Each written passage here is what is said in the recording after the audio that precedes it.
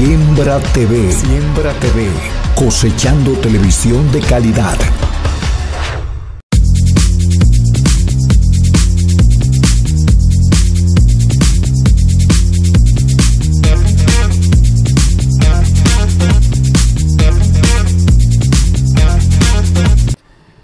Bien, continuamos con el desarrollo del programa Resumen Cibao y la sección Actualidad entre líneas.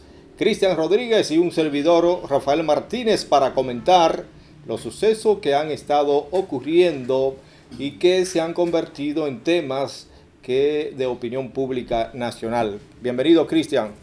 Así es, Rafael Martínez, un placer compartir con usted asumiendo la responsabilidad en este espacio Resumen Cibao y la sesión Actualidad Entre Líneas para mantener informado a la gente que nos sigue a nosotros a través de diferentes plataformas las redes sociales y de manera específica en el canal Siembra TV.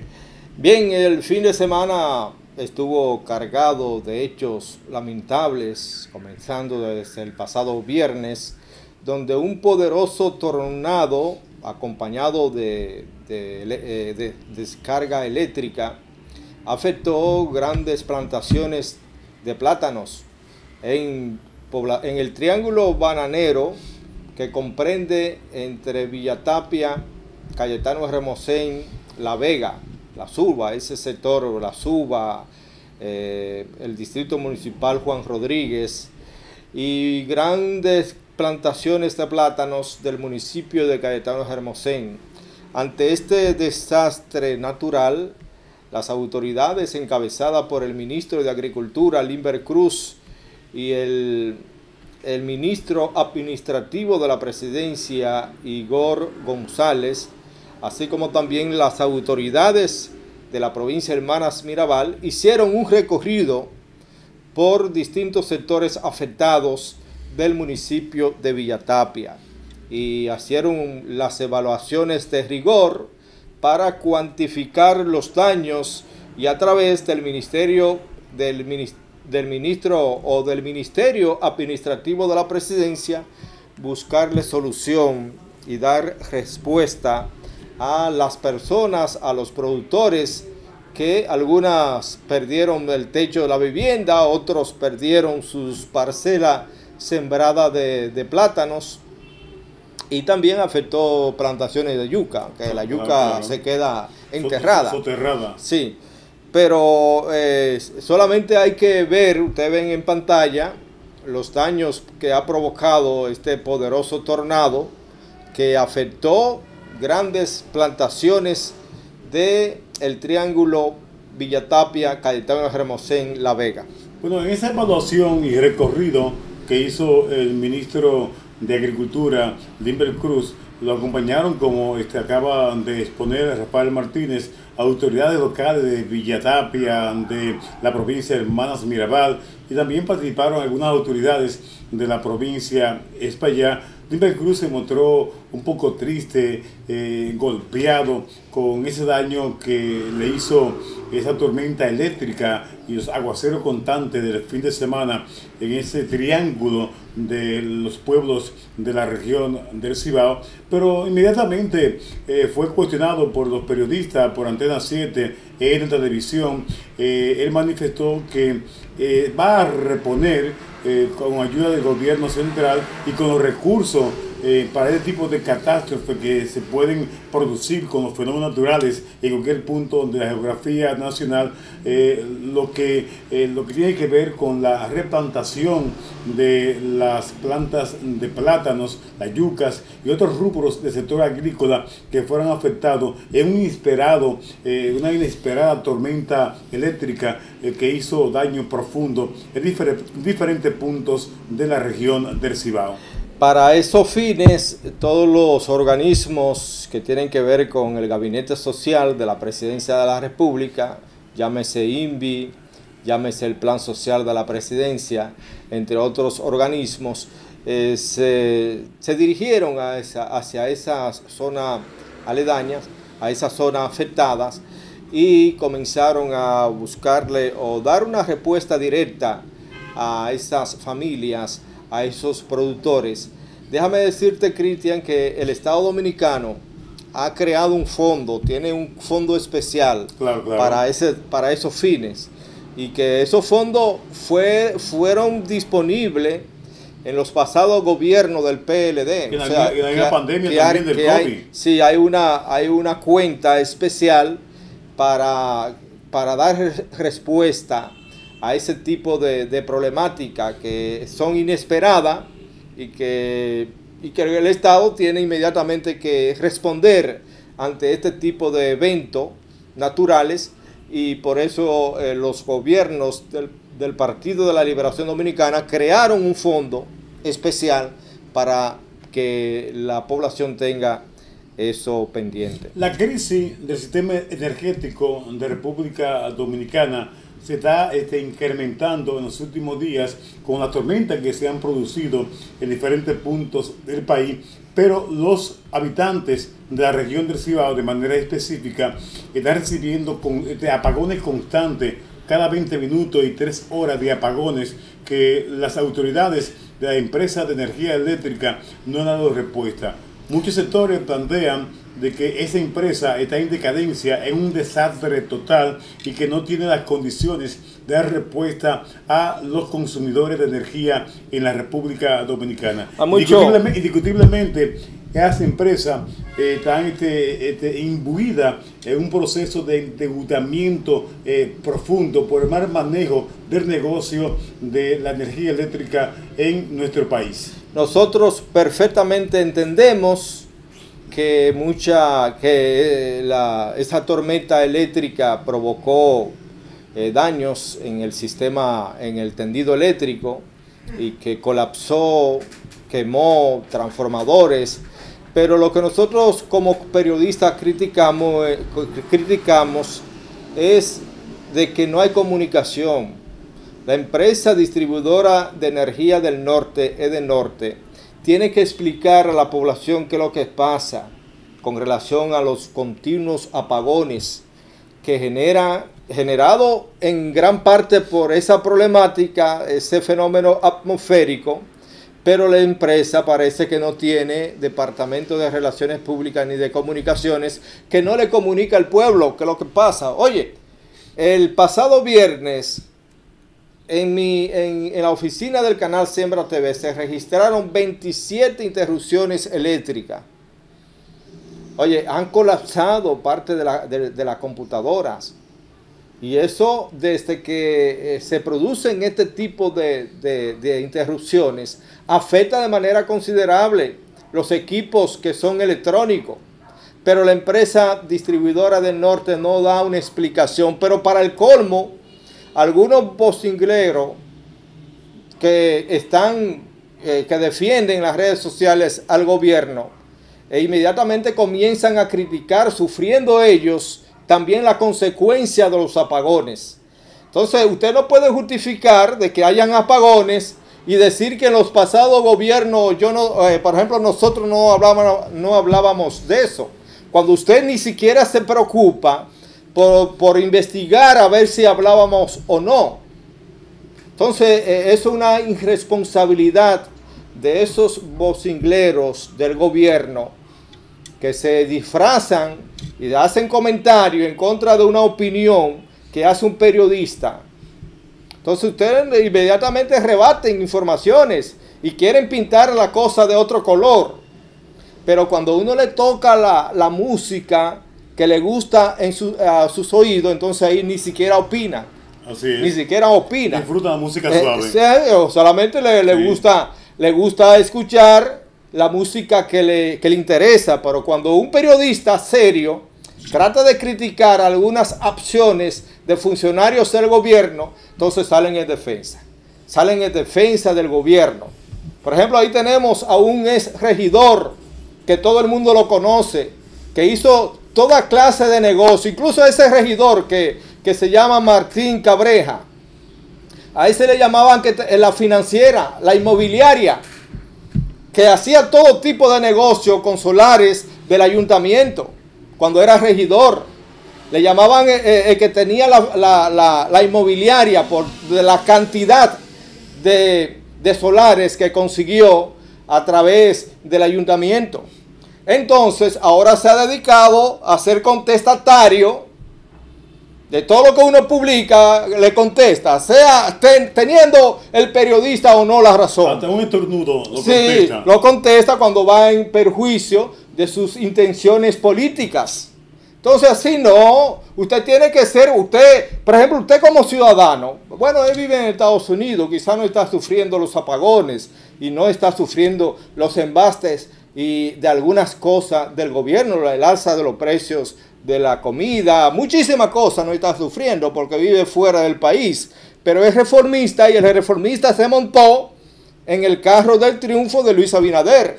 Así es. hablando de Abinader, en el pasado proceso, en el pasado torneo electoral, un sector de la Iglesia Católica envió a votar de manera directa por el candidato, por uno de los candidatos opositores del Partido de la Fuerza del Pueblo, me refiero al candidato senador del Distrito Nacional, Omar Fernández, eh, por la posición y cercanía, por los valores que representa o representa Omar, Omar Fernández y otro candidato de otro partido que estaba en defensa de la inviabilidad de la vida, un derecho establecido en la Constitución de la República Dominicana que otros candidatos no habían asumido. Eh, eh, el presidente Luis Abinader se vio acorralado con esa presión y algunos sectores del sector evangélico y católico de nuestro país. Ganó las elecciones a Abinader y se acercó, eh, eh, eh, esta semana está en, en, Roma visitando al Papa. Y visitando al Papa para darle un cariñito. En esa visita fue su familia completa. Eso es una muestra de, de contestataria a los sectores que mandaron a votar en contra del proyecto político que representa el gobierno central. En su visita, el presidente Luis Abinader le llevó un regalo especial al Papa, un rosario de lagrimal, una piedra, una piedra eh, color cielo, denominada color cielo, que se produce en la República Dominicana y en algunos países del Caribe, una piedra preciosa que nosotros consideramos que nuestro país debe de explotar esa importante herramienta, ese mineral importante para explotar mercancía, para, para explotar prendas preciosas a nivel internacional. Pero en el caso de, Luis Abinader, que está hoy abrazando al Papa, es una forma de congraciarse, de acercarse y, de pedirle, y, de pedirle, perdón al sector católico de República Dominicana. Está haciendo como la perrita de María Ramos, tira la piedra y, esconde, la mano. Entonces, el presidente votó en la ONU en contra del pueblo judío. Sí, sí, en contra de Entonces, ¿quién representa en la tierra a ese pueblo que fue erigido por Dios? El Papa. Entonces, eh, eh, estamos jugando la doble moral. Entonces, usted recibió la presión de poderes, de sectores poderosos, sectores fácticos poderosos.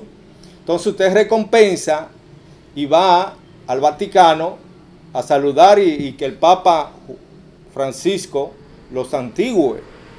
Pero cometió el error presidente. Votó en las Naciones Unidas, en la ONU, en contra de un voto a favor del pueblo palestino. Pero en política, oye, aquí la, la práctica política lamentablemente se está degradando los sentimientos ideológicos se están, se están yendo, se le está yendo de la mano a muchos políticos dominicanos. Y no hay una, una dirección, una dirección que vaya en consonancia con los intereses del pueblo dominicano. Todo se compra, todo tiene su valor. La, la información en este país tiene el mercantil tiene su valor eh, económico, lamentablemente. Vamos a una pausa. Sí, vamos a hacer una pausa y luego continuamos con más temas de interés.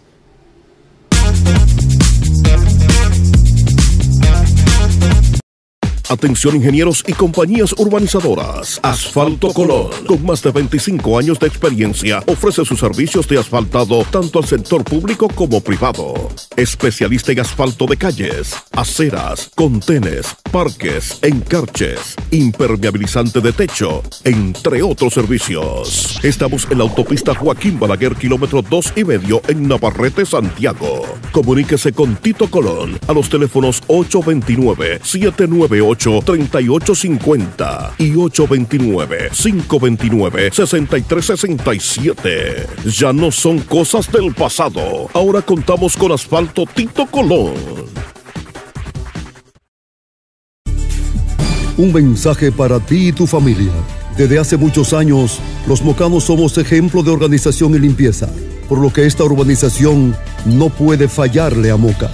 Como manda la ley y dicta nuestra conciencia, cada familia debe limpiar el frente de su casa y cada dueño su solar, de tal manera que cada uno aporte un granito de arena al aseo de su entorno, mientras el resto lo hace tu ayuntamiento. Jamás seamos vergüenza ante los otros pueblos. Seamos el ejemplo que todos admiren. Moca, modelo nacional. Moca es de todos. Ayuda. Miguel Guarocuya Cabral, alcalde, y yo, Fernando Moronta, el que te enseñó a pre, pre, pre prender radio.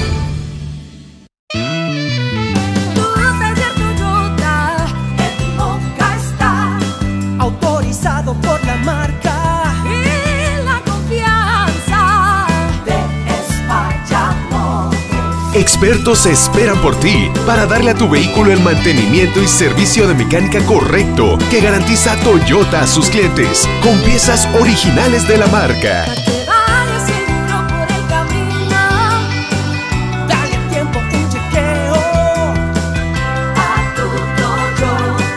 El taller autorizado Toyota está en Espaillat Motors Moca.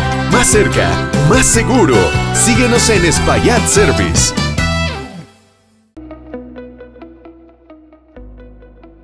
Estamos haciendo un llamado a todos los gobiernos locales de la República Dominicana para que a partir de mañana, los que no lo han hecho todavía, tomen la iniciativa de desmonte de la propaganda política en todos los territorios del país. Y así llamamos a todos los candidatos de todos los niveles. Si alguno se resistiere o no lo hiciere por omisión, entonces el alcalde que corresponda a ese territorio está en el deber de proceder a desmontar esta propaganda. Iniciamos en coordinación con ayuntamientos y distritos este esfuerzo de devolver la normalidad y de descontaminarla de esa carnavalesca eh, propaganda política que como refería eh, Kelvin de manera eh, bastante abusiva fue colocada. Por más de 20 años, hemos podido satisfacer las necesidades de nuestros clientes con productos y servicios agrícolas altamente eficaces. Nuestra mayor inspiración es aumentar los objetivos de crecimiento de nuestros consumidores en cuanto a mayor producción o calidad, conociendo sus necesidades y así brindarles los servicios, educación y concientización para producir más y mejor y ser en todo momento su primera opción. Horizonte Agrícola, orientando y educando al productor dominicano.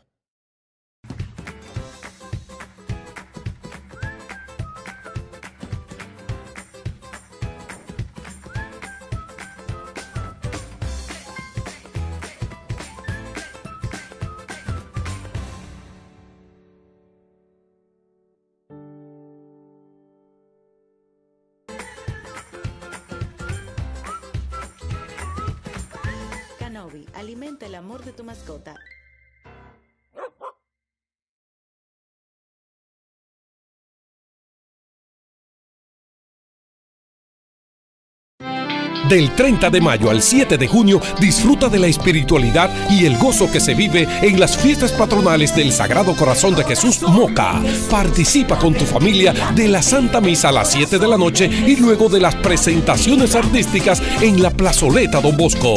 Deja que el corazón de Jesús lata en ti en tus fiestas patronales 2024 del 30 de mayo al 7 de junio.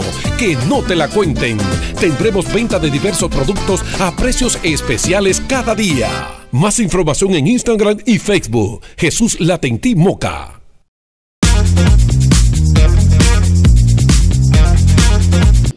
Bien, nosotros continuamos con el desarrollo de este programa Actualidad entre líneas. Cristian, yo a veces me siento preocupado ante la actitud de los jóvenes. Las jóvenes eh, están en una onda muy distintas aquellos tiempos cuando nosotros nos criamos, que era, eran actividades sanas, de recreo, sano, sano ambiente. Se iba a la iglesia, se disfrutaba de, de los campos. Los que vivían en la ciudad también tenían su diversión sana. Ahora los jóvenes se han metido a grupos de jugar eh, de algunos juegos que para mí son satánicos, hay muchos juegos satánicos que influyen directamente en la conciencia de- del joven. Digo este comentario a colación de que un joven conocido como Sebastián Castillo, residente en Villadelia del municipio de Moca, envió a, a través de la red de la red social TikTok un Sebastián, mensaje Sebastián es estudiante del Colegio un ex Educar. estudiante de- del Colegio Educare, del Centro Integral Educare, y este joven, a través de esa red social, envió un mensaje de que eh, se siente mal porque fue, parece que fue excluido de, de ese, por su conducta. Entonces él mandó un mensaje diciendo que va a, A colocar a una bomba. explotar, a colocar una bomba y que va a explotar el colegio, el centro educativo. Esto, aunque sea un juego, aunque sea un experimento social, como se ha dicho, tiene que preocupar a, las autoridades, porque si no se le pone eh, atención y, y que sea cierto, y puede atentar contra la vida de muchos jóvenes, a pesar de que aquí quizá un joven no puede tener un artefacto, una bomba, explosivo, pero hay que tomar y poner atención, las autoridades deben poner atención como lo han hecho. Por ejemplo, le hicieron un allanamiento a la residencia de su madre, en el residencial Villadelia, la madre fue detenida, no sé si, fue puesta en libertad, y las autoridades, el Ministerio Público, le solicitaron a la madre para que entregue a su hijo, que se encuentra eh, supuestamente en un centro clínico, psiquiátrico. Eso es lo que se ha dicho con relación a este tema. Pero es preocupante, es preocupante que este tipo de acciones, este tipo de amenaza estén ocurriendo y cuando, y cuando es en contra de un centro educativo donde hay niños, eh, hay niños. Y eso preocupa no solamente al centro educativo, sino también a los, eh, a los padres que tienen estudiantes en Educare. Bueno, eh, esta noticia este, alarmó a la sociedad mocana, a toda la provincia de España y a diferentes medios a nivel nacional que nos llamaban para que buscáramos informaciones, para que nos acercáramos a la fuente, para construir una información veraz sobre ese acontecimiento que alarmó a la población mocana. De hecho, los padres, amigos, familiares de estudiantes de esa entidad, de esa institución educativa, eh, fueron retirando de manera paulatina a los estudiantes por la alarma que se creó. Y fue una medida preventiva porque no se puede pasar desapercibido cualquier tipo de amenaza en nuestro país. Nosotros no tenemos la cultura de construir bombas, de colocar bombas, de estallar bombas, de joven inmolarse, de dirigentes populares, lo que sea, de inmolarse ante cualquier situación que esté dando en el país. Pero sí, la alarma surtió efecto y la dirección del Colegio Educare convocó para el día de hoy, en la tardecita del día de hoy, a los padres amigos de la- del Colegio Educare de la ciudad de Moca para informar realmente qué pasó. Pero las medidas de prevención que se llevaron a cabo eh, fueron efectivas y fue lo que se debió hacer, porque cualquier muchacho de esta generación, la generación X, Z de nuestro país, eh, podría estar en condiciones de hacer una bomba. ¿Por qué? Porque pueden buscar la facilidad que da la tecnología, el Internet, pueden buscar los elementos, las herramientas necesarias para construir una bomba. No creo que exista esa posibilidad, pero como está el mundo, con las herramientas que están en las manos, en la palma de la mano que tienen los jóvenes de esta generación, cualquier cosa se puede dar en nuestro país. Bien, pues entonces entrando al tema político, tanto el partido, el comité político del Partido de la Liberación Dominicana, como de la Fuerza del Pueblo, los dos principales partidos que participaron en el pasado reciente del proceso electoral, los dos principales partidos de oposición que quedaron en segundo y tercer lugar, se reunieron. Eh, en el caso del Partido de la Liberación Dominicana, se determinó de que no se quieren a Danilo Medina. No, no, O que sea, no se quiere. No, no, bueno, No, que... ellos tomaron la decisión de retirarse. Sí, sí, porque la base del partido, incluso han señalado que Danilo es uno de los principales culpables de que el PLD esté hoy en la posición que, es- está. Que es el Foucault. Ah, no, que esté en la posición porque Danilo primero lo que le hizo al expresidente Leonel Fernández y puso al penco por encima de todo. A partir de ahí el PLD comenzó en decadencia. Y el mal desempeño que, de- que desarrollaron los dirigentes, los miembros del comité político en el pasado proceso electoral, que ninguno de los miembros del comité político se vio eh, con Abel Martínez recorriendo el país, muy pocos. Entonces, ante esa situación, el comité político ha decidido de que ni, ni el secretario general, Charlie Mariotti, ni el presidente del partido sigan y que hay que dar cara nueva, cara joven, para enrumbar al PLD por otro camino. Por otro camino. Yo creo que es necesario, es necesario abrir un debate ahora con los principales partidos de oposición para que eh, se produzcan los cambios necesarios, los cambios generacionales en esos partidos que todavía están llenos, están siendo dirigidos por dinosaurios de aquella época. Entonces hay que darle la oportunidad a la juventud que tiene otra visión, tiene más visión de futuro. Asimismo ocurre con el Partido Fuerza del Pueblo, aunque, aunque el Partido Fuerza del Pueblo es una organización nueva que apenas ha tenido como Partido Fuerza del Pueblo, ha tenido dos procesos y los dos procesos que tiene han sido en, eh, cre- en crecimiento. en crecimiento. En crecimiento. Y, y todavía sigue creciendo. En el caso de, de la Fuerza del Pueblo, el, eh, el miembro del comité, le llaman comité político, o la dirección, dirección política. La dirección política. Eh, el pasado el pasado procurador general de la República, Radamés Jiménez, quien es de la dirección política de la Fuerza del Pueblo, eh, un cuestionamiento que le hizo un periodista, dice que eh, denunció, que todo el mundo lo sabe, que el gobierno utilizó los recursos para comprar, para comprar voluntades, y eso todo el mundo lo sabe, y ha, estado, ha, sido un tema de los principales en el pasado proceso electoral. Bueno, indiscutiblemente eh, fue una buena decisión del Partido de Liberación Dominicana y el Partido de la Fuerza del Pueblo de reunirse con la cúpula dirigencial de ambas entidades políticas.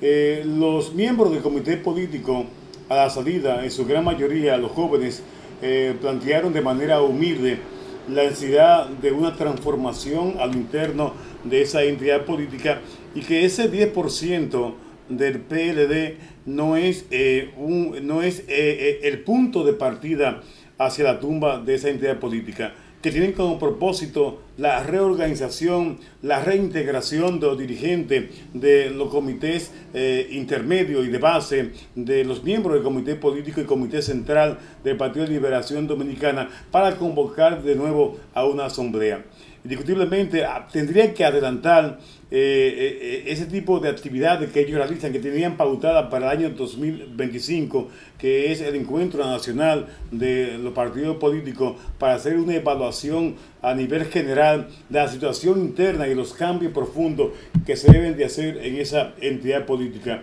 Hay sectores que han estado este, opinando la posibilidad de que Danilo Medina sea rehabilitado para el 2028 y nosotros consideramos que es una propuesta absurda de quienes están este, soñando con esa posibilidad. Danilo que debe de quedarse fuera de esos propósitos y quedarse como asesor del Partido de Liberación Dominicana porque hay muchos jóvenes con talento que tienen posibilidades de competir dentro de esa entidad política. El propósito, el objetivo esencial es la reorganización interna y volver el Partido de Liberación Dominicana a formar núcleos de trabajo sectoriales a nivel nacional para de una forma u otra eh, jugar un papel muy importante en la oposición al gobierno del Partido sentido Revolucionario Moderno. Lo mismo debe hacer el Partido de la Fuerza del Pueblo eh, que nosotros consideramos, a Martín no le gusta mi propuesta, mi inquietud, que también Leonel Fernández es presidente de la República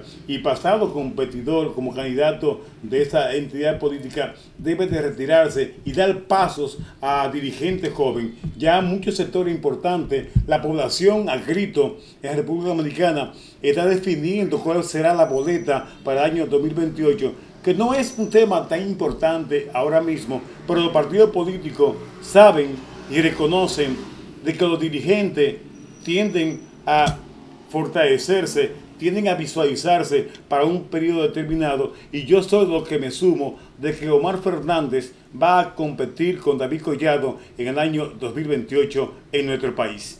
Bien, pues nosotros le agradecemos la atención prestada y, le vamos a pedir que sigan en sintonía eh, con el programa Siembra TV. Yo me gustaría que nuestro productor Henry Mercado me pase esa, esa, ese paquete de cigarros, Doña Águeda, para que usted vea la, calidad, que nosotros presentamos. y usted lo puede buscar en nuestros cigarros Doña Águeda en distintos establecimientos comerciales de la región, Santo Domingo y el país. Aquí tenemos eh, cigarros Doña Águeda, una fumada premium. Para usted adquirir un mazo de 10 o una caja de cigarros Doña Águeda, usted puede llamar al teléfono 809 578 o 829 529 63 67 829 529 6367 es la vía de comunicación para usted pedir ese importante y agradable cigarro Toñáqueda. Bueno, pues muchísimas gracias por la atención prestada. Nosotros continuamos con el desarrollo de la programación de Siembra TV.